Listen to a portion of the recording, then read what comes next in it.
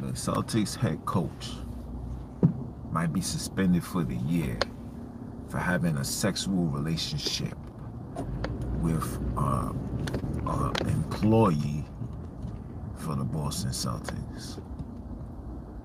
What really gets me upset, right, is for one, you cheated on you cheated on Lisa, son. You cheated on Nia Long. You cheated on, you know what I'm saying? Like everybody's childhood growing up, and you got that in your possession, and you cheated on her.